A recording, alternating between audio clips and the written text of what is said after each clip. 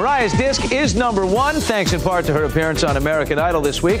But it was not a good week for former Idol hopeful Kristy Lee Cook until a certain someone fell to his knees. I want to see this ring.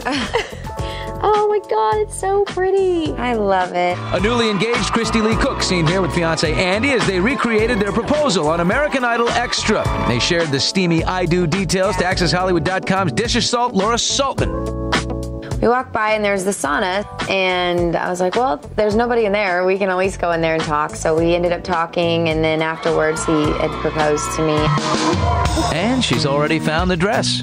It's strapless, white, and it it's got like these V's that have some different kind of uh, material in it. It's like really fitted, and then it has a. Tr- it's really, really pretty. Somebody asked you about your wedding and who would you love to sing at your wedding, and you said. Um, well, I said Jason Aldean. We surprised Kristy with a message from her favorite country singer. I've been rooting for her the entire season, and I'm bummed to see her get eliminated. My tour schedule keeps me booked most weekends, so I doubt the wedding would be possible, but I'd love to invite her and her fiance to come hang out with me one night while I'm out on the tour with Tim McGraw. Awesome. And you never know, maybe one day down the road we can collaborate on something. that would be so cool.